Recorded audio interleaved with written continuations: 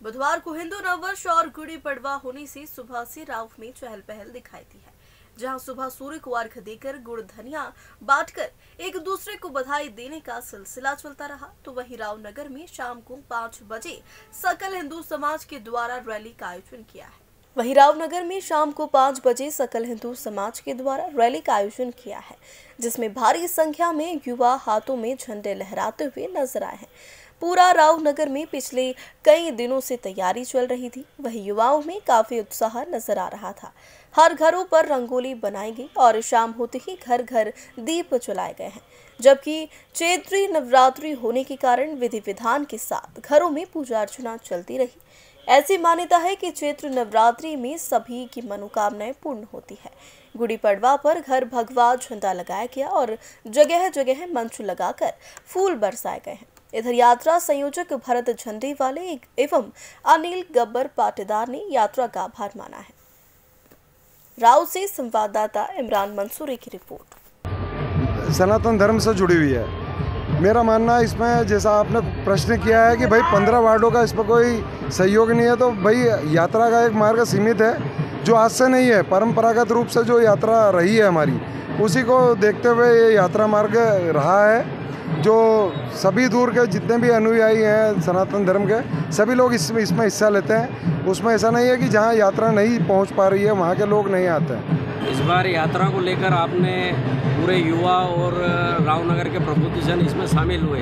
क्या अगली बार जो यात्रा निकलेगी आने वाले वर्ष में उसमें क्या मातृशक्ति इसमें शामिल होगी? जी हमने इस बार भी अनुरोध किया था कि मातृशक्तियाँ भी इस बार सम्मिलित हो। लेकिन पूर्व में जैसा मैं आपको बताता हूँ कि भाई पूर्व में ये यात्रा जो है बाइकों के द्वारा निकाली जाती थी, जिससे महिला शक्ति इससे कहीं ना कहीं दूर थी।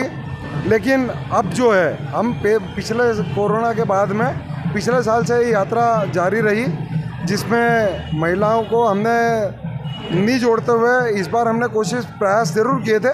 कुछ परसेंट महिलाएँ रही है इसमें, लेकिन अगली बार हम प्रयास करेंगे कि भाई सारी महिलाएँ जितनी भी हैं भाई भव्यता के साथ में इस भव्य रैली में अपने तन मन धन के साथ सहयोग दें आपका नाम? भरत जी पाटीदार यात्रा संयोजक नगर में सबसे पहले तो पूरे नगरवासियों और देशवासियों को हिंदू नववर्ष की हार्दिक शुभकामनाएँ देता हूँ।